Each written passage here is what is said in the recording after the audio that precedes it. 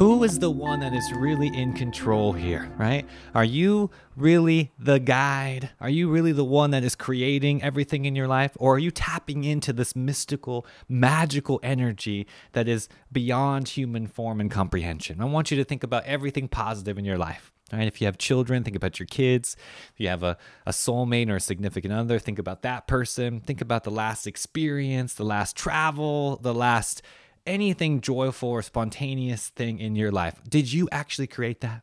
Did you actually tangibly do that? Or did you say yes to the opportunity to allow that experience into your life? You are actually not doing anything. You, the lower self, you, the ego, are not doing anything but just kind of dancing and going along to with whatever your higher self may or may not present to you. You see? Now, most people have resistance to that upgrade. They have resistance to what the higher self is presenting them. Therefore, the struggle happens. Therefore, suffering happens. And it doesn't have to be that way. All you have to do is go through with whatever your heart and your higher self is telling you, no matter how complex, no matter how your ego and your mind wants to toss it back into that survival mode and keep you out of anything that is change. You see, because that's what this is. The ego only wants to keep you in survival mode. No judgment from me. I'm going to love you whether you want to stay in survival mode or whether you actually want to manifest your heart's greatest desire. I'm going to love you either way. Now, you have to understand that nobody can do this for you. Nobody can love the way you can. Nobody can create that the way you can. Nobody can do anything at the way you can to your own unique ability. So the sooner you start understanding this, the sooner you start manifesting all of this instead of getting subject to the old self and getting subject to what everything used to be, that's when magic starts happening. That's when this light goes off inside your mind's eye and you're like, wow, I did create this. No matter how traumatic that experience was or whatever happened in your past, you created it. You see? And you created it so you can wake up. That's it. So now that you've awakened, right? Now that you have clarity, now that you know exactly the rules to the game, you can't get away with those old things that you used to get away with.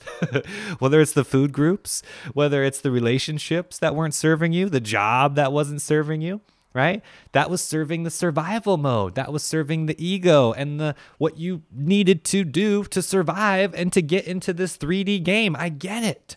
However, you are here to do so much more you can do so much more. If you allow yourself the opportunity, you can say yes to the next opportunity that your higher self presents you instead of saying no and getting stuck in survival mode over and over again. You can actually project yourself into a completely new reality.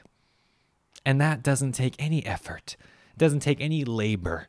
In fact, it's quite the opposite. You don't need to dig any trenches here. You need to simply go through the labor of your ego and the labor of your lower self that is preventing you from actually achieving your heart's greatest desire.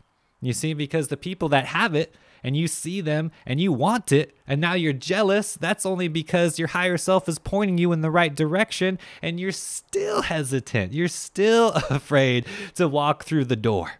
And again, no judgment for me. I want you to know that it all comes back down to free will. If you won't do it, nobody will do it for you, right? It's like that good old saying about the horse. You can only lead the horse to water, right? But you can't make him drink. You see, I have endless supply of water for all of you. However, you got to come on down and enjoy the water yourself. You got to taste it, you got to experience it. You want to swim in it, let's go skinny dipping, whatever you want to do. Let's do it, baby. Because at the end of the day, nobody's going to do this work for you. Nobody's going to pull those skeletons out of your closet for you. Nobody's going to make you drink the green smoothie and upgrade your body and start detoxing for you. You see?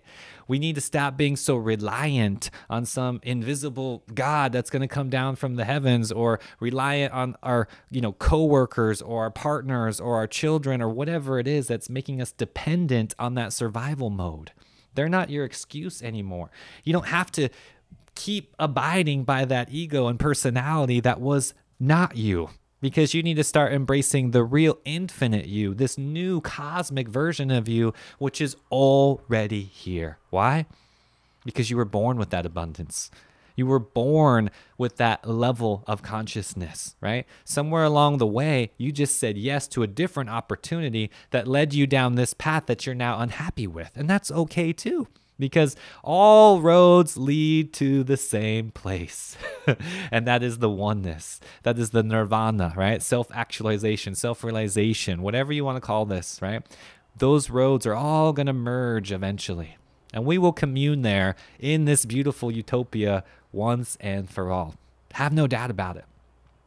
But let's not get focused on the destination. Let's remember that the magic is all about the journey. How did you get there? What did you do? What are the trials? What are the tribulations? What are the relationships? What is the energy that you had to transmute and to actually achieve what you're achieving right now? No matter how quote unquote good or bad it may feel or look like, because remember, that's just 3D and you are multidimensional. You are here to go way beyond 3D. You see, that survival mechanism and the ego that was created, that was serving the old earth, the old way of life. Now we have to jump into new earth and jump into this more cosmic show. You see, this radiance, this glowing energy that is the consciousness, that is you, has to play the game at a higher frequency now. It's just that simple. So, again, your old relationships probably aren't going to serve you anymore. Your old foods, right, that you used to eat probably aren't going to serve you anymore because you are high vibe, right? You're vibrating at this new level. So you're not going to get away with those old things, right? Or you can practice insanity, which is doing the same thing and expecting different results. You see? And I know you're not insane. I know there's more to this than what meets the eye. That's why you have to start digging real deep here. That's why you have to start assessing this from the energy because that's what you are. You are energy. You are not just this meat suit. You're not just this body. You're not some cosmic thing. No, you are all of it, right? Your meat suit is just the form that's encapsulating the light. right? so let's embrace all of these things. You don't have to get all new age on me. It's not the ego is bad. No, you need to be you. This body is Robert. I need to be Robert to transmit this energy to you.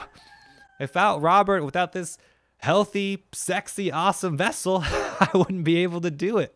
Now, understand that all of this is an equal part of the play, right? It's not like one thing is better than the rest, or there's an up and down, or tug and pull. Remember, that's 3D. That's going to keep you in that constant motion all the time and keep you suffering. It's time to go beyond that survival mode. It's time to go beyond that mechanism that you've created and tap into the most infinite version of yourself. All right, guys, until next time, infinite love, infinite peace. I'm out.